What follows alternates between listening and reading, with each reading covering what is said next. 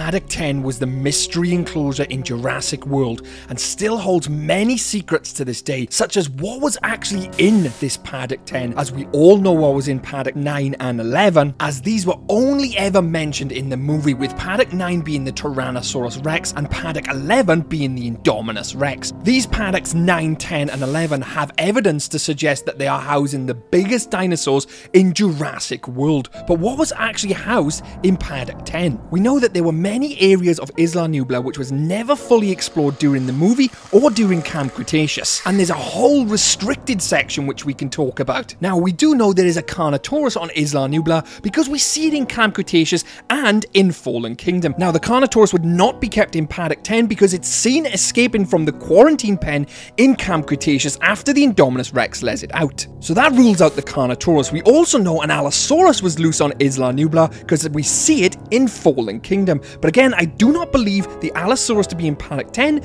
because I believe the Paddock 10 was kept for something more secret, something more deadly. And one of the entries at the end will completely blow your mind. We also know that in Jurassic World there was a massive restricted section where they housed all their experiments. So was the fruits of their labour kept in Paddock 10? Now, there are numerous dinosaurs I am not going to cover in this video because I covered them in part 1. And if you want to watch that after this, I would highly recommend it because it's going to feature dinosaurs which are not on this list. Now, the official documentation of what was in Paddock 10 was never released, but with all the upcoming evidence, we can kind of make a picture of what was kept in there. Lots of people believe that the Tarbosaurus was indeed meant for Paddock 10. Now, the Tarbosaurus is basically a T-Rex with a smaller jaw and was featured in Camp Cretaceous Hidden Adventure. Now, there is a problem with that. Camp Cretaceous is canon, so anything in Camp Cretaceous is canon to the Jurassic World universe. But Camp Cretaceous Hidden Adventure is not confirmed to be canon. And even if it is, there's an ending where she's killed by Rexy, and that could explain her absence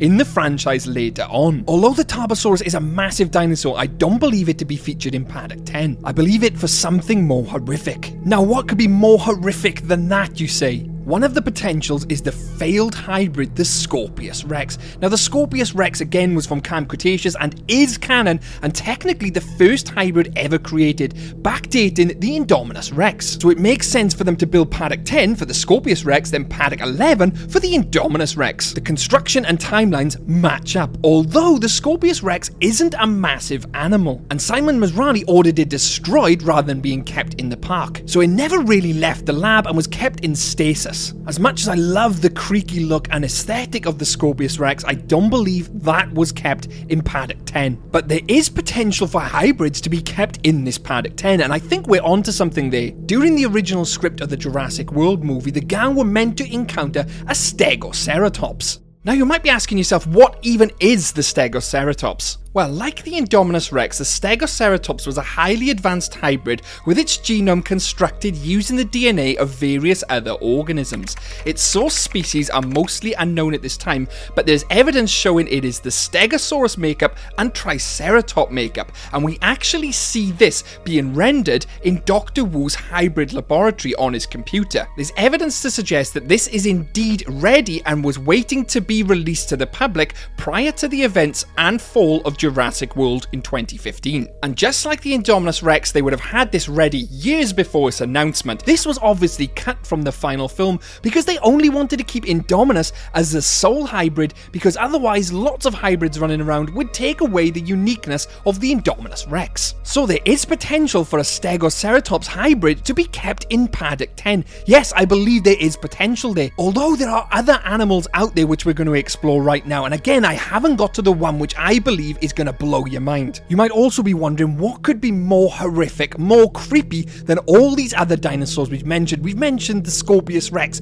we've mentioned the Stegoceratops. How could anything possibly beat these in terms of creepiness and hybridability? Well, we'll get to that in just a second.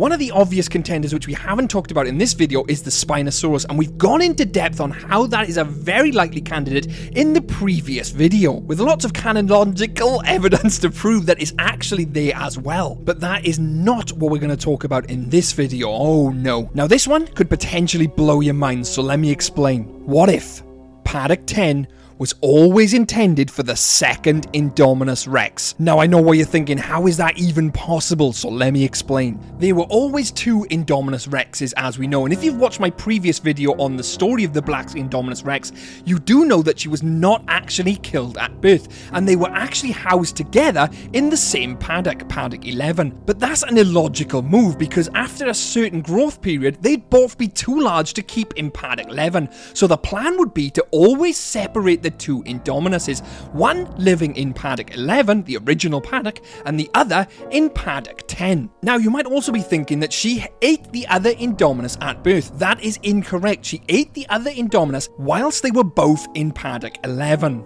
Now, from a business perspective, they would definitely have two paddocks ready to separate these animals. And I believe that's what actually was the case. There is more evidence pointing to that theory than there is the Spinosaurus. When you actually think about it logically, it makes sense. How would they ever keep animals of that size together in a small enclosure? They wouldn't, they would have to separate them. But as of 2015, there was only one Indominus, which would leave Paddock 10 either A, empty, or B, they did fill it with one of the other previous experiments. Although initially, I do believe Paddock 10 was intended for the second Indominus Rex. After the Indominus Rex was killed, well, anything could be in there. A good contender would be the Spinosaurus, and I highly recommend checking out part 1 of the original video. Realistically, with the evidence we have, it could be any one of the animals I have previously mentioned. But what do you believe was kept in Paddock 10? Please let me know in the comments below. Could it be something we haven't spoken about? Maybe a Titanoboa, the Deinosuchus perhaps, because we know that was on Isla Nublar.